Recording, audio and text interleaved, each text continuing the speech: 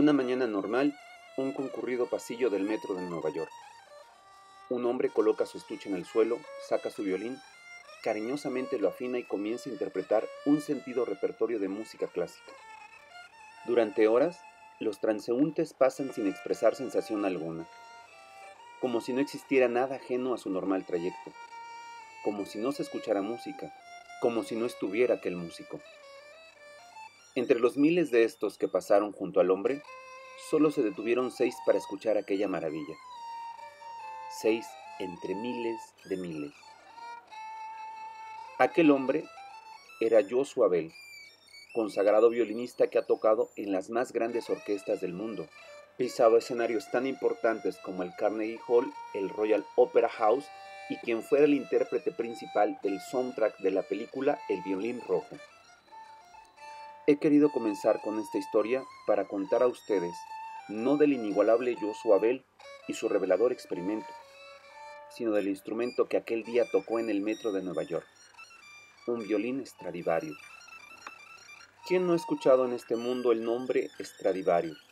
Si la fama del sonido e incalculable valor de sus instrumentos con ya más de 300 años de antigüedad le preceden. Pero ¿quién fue este hombre? Antonio Stradivarius, Nacido en Cremona, Italia, fue hijo de Alexandro Stradivari y Anna Moroni. A temprana edad quedaría huérfano y sería acogido por un colegio de sacerdotes durante sus primeros años. Al escuchar por primera vez el sonido del violín, se queda enamorado, deseando ser músico, y sin saberlo, este mismo camino le llevaría a ser alumno y protegido del gran maestro luthier de su época, Nicola Amati, nieto del gran maestro Andrea Amati, el creador del violín, la viola y el violonchelo, que sustituirían en otro tiempo a la viola de gamba. Antonio, pues, aprendería de Nicola Mati los secretos de la lutería del violín, mostrando pronta sapiencia y mejoría, por lo cual dejaría las labores menores para empezar a producir algunos violines, que tiempo más adelante le permitirían firmar algunos de sus violines bajo el nombre de la Casa Amati. Al igual que él, otros jóvenes fueron aceptados por el maestro. Destacan entre ellos Andrea Guarneri, Gennaro Giacomo, Jacobo Steiner, Francisco Ruggeri, Paolo Gansino y Hebe Roggeri.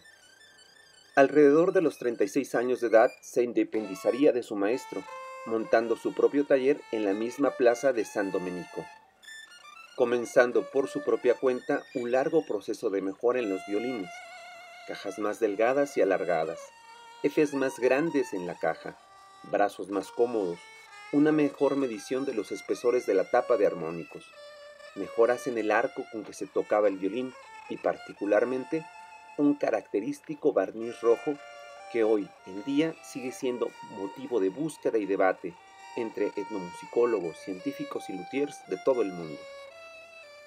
Su fama llegaría hasta los 60 años de edad, cuando sus trabajos fueron requeridos para la corte del rey Carlos II de España, el rey de Inglaterra, el gran duque de la Toscana Cosme II de Medici y el rey de Polonia. Con su distintiva etiqueta en latín, Antonio Stradivari Cremona hecho en el año, se calcula que produjo alrededor de mil y mil doscientos violines, pero solo 17 violines por año durante su periodo más iluminado que corrió de 1683 a 1715. La fama de sus violines se debe no solo al hecho de su impecable factura, una obra auténtica de arte en las 64 piezas que componen el violín, sino en la calidad sonora, la belleza de sus armónicos y la proyección excepcional que estos tenían en los auditorios.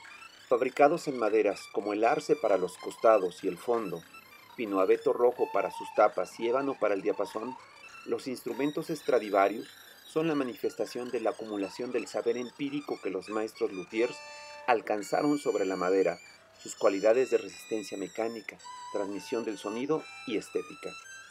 Se dice que Antonio recorría el bosque de los Dolomitas por la noche golpeando los árboles para escoger aquellos cuya sonoridad fuera particular, para pedirlos posteriormente ser llevados a su taller. Violas, violonchelos, contrabajos, arpas, guitarras son algunos de los tantos instrumentos que fueron fabricados por este maestro. La calidad del sonido de sus instrumentos ha sido motor de búsqueda infatigable, porque todo mundo quiere conocer sus secretos. Algunos atribuyen al barniz el sonido excepcional de sus instrumentos, y hay una larga lista de materiales propios de la alquimia. Ámbar, propóleo, copal, frutos de origen malayo e inclusive sangre humana, sin que hasta la fecha se haya podido determinar realmente cuáles fueron los materiales específicos que utilizó el maestro.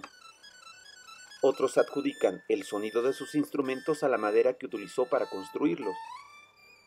Y las historias fantásticas tampoco terminan aquí, como por ejemplo, que la madera de la que construyó los violines era producto de un árbol hundido en el río Po, el desecho de antiguos barcos mercantes o maderos de las iglesias antiguas.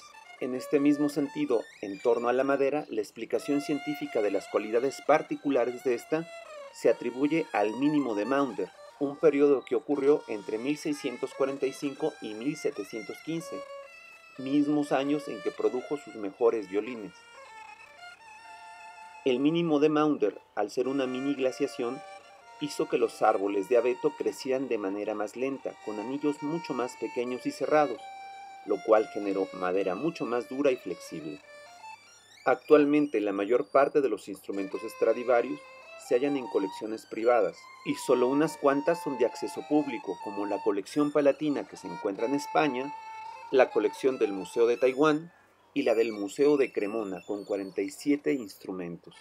Contados son los músicos que han podido tocar un instrumento Stradivarius.